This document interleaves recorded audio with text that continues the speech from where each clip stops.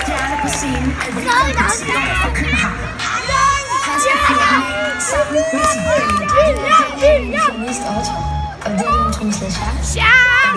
Det er en øh, guitarist Mikkel. Min sang hedder Stjerneskud.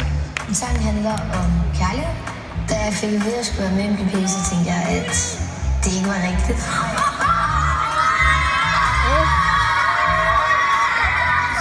Kutsulla lagi mah. Eh, kok naik pindah tidak ya? Nå, nå, ej, jeg forvirre mig bare rigtig meget. Noget af det fede ved MGP, det er at synge. Om nogle nye venner? Ja. Eller mennesker? Hvem følger flest YouTubere? 3, 2, 1.